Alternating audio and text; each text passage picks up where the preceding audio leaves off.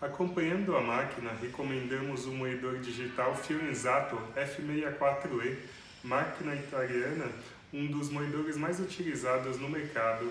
Acesse o nosso site, esperamos a sua consulta.